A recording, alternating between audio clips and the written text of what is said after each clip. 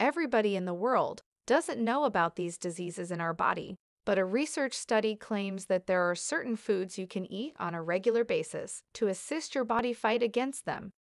In this video, I'll tell you about a few of the items you should include in your diet on a daily basis to protect yourself against potentially harmful diseases. 1.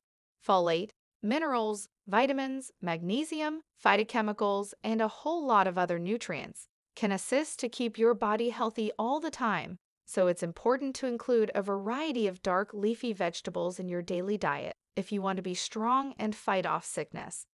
In addition, it aids your body in its struggle against diabetes. 2.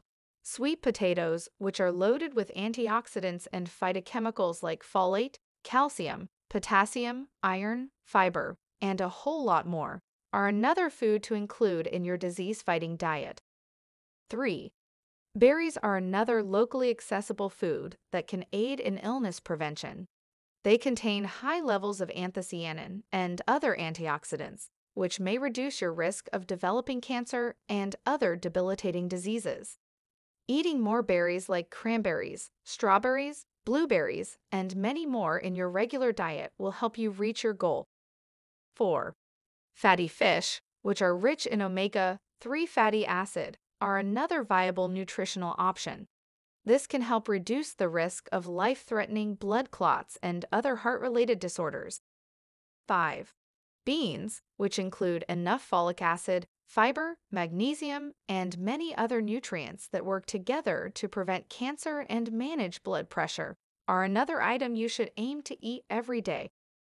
6. Vitamin C in citrus fruits, like oranges, grapefruits, lemons, and limes, is not just a powerful antioxidant, but supports both the innate, you were born with it, and adaptive, your body developed it, immune systems in multiple ways, such as promoting wound healing, creating stronger skin, artery, and intestinal lining barriers against pathogens, reducing oxidative stress that could worsen infections, killing microbes directly, and cleaning up the byproducts of the infection fighting process. I hope you have enjoyed this video. If you have, please subscribe to this YouTube channel and don't forget to give this video a thumbs up. Thanks for watching and bye for now.